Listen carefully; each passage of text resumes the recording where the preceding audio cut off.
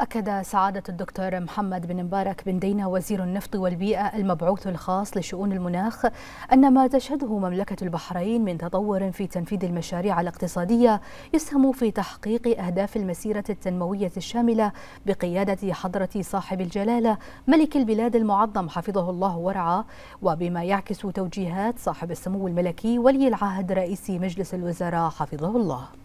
جاء ذلك لدى رعاية سعادة وزير النفط والبيئة حفل تدشين مشروع حقل وقود الطائرات بحضور رئيس مجلس إدارة شركة مطار البحرين لوقود الطائرات السيد مارك توماس الرئيس التنفيذي لشركة بابكو إنرجيز والسيد محمد يوسف البن فلاح الرئيس التنفيذي لشركة مطار البحرين وعدد من كبار المسؤولين والمتخصصين من مختلف الشركات ذات العلاقة.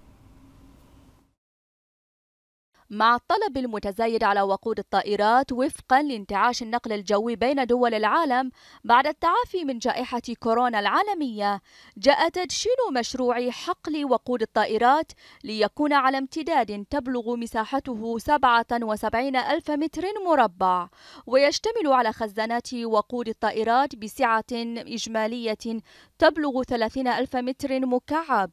ومن المؤمل أن يحقق هذا المشروع زيادة في القيمة المضافة من خلال تبسيط عمليات تزويد الطائرات بالوقود وعمليات الصيانة في المطار الدولي. المشروع صمم ونفذ مع أحدث التقنيات العالمية يلي هي بترتبط بال aviation sector وتم استعمال أحدث أنظمة التحكم والإنذار اللي هي تحافظ على سلامة وأمن استعمال هذا هذا المشروع والمحافظة على جودة وطولة أداء هذا المشروع. مشروع حقل وقود الطائرات يضع على رأس أولوياته أسسا مستدامة لمستقبل الطاقة لا سيما الدور الذي تقوم به شركة مطار البحرين لوقود الطائرات في عمليات تزويد الوقود بشكل آمن وفعال وعلى مستوى عالمي مع المساهمة في خفض الانبعاثات الكربونية وتحقيق الاستدامة البيئية. الحقل الجديد لخزانات الوقود في مطار البحرين جاء يعني ليعزز مكانة مطار البحرين كمركز لخدمات تزويد الوقود في المنطقة. المرافق الجديدة مجهزة بأحدث التقنيات وأحدث الأجهزة اللي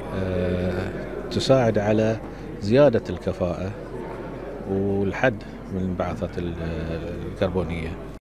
تدشين حقل وقود الطائرات ونظام أنابيب إمداد وقود الطائرات يجسد الشراكة الاستراتيجية بين بابكو إنرجيز وشركة مطار البحرين. وانعكاساتها الإيجابية على مواصلة تطوير البنى التحتية في مطار البحرين الدولي كما أن تدشين هذا المشروع سيعزز من التعاون مع كبار موردي النفط مثل بافكو لتزويد وقود الطائرات وشيفرون اللذين كان لهما دور كبير في دعم جهود المطار لتلبية احتياجات خطوط الطيران واستقطاب مشغلين جدد مما يرفض مساعي تعزيز الربط الجوي لمملكة البحرين.